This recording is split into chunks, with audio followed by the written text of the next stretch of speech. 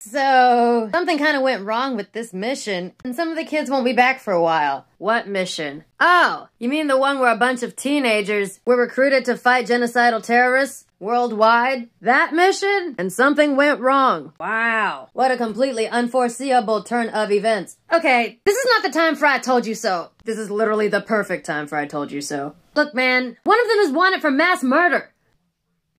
What? Motherfucking Bakugo! I swear to God! Um, actually. But you know what? Better now than later. Because if it didn't happen now, it was gonna happen about 10 years from now. Um, it was Midoriya. what? what? Oh no! Not your favorite. Loud, how many fucking things had to go wrong for this to happen? okay, he obviously didn't do it.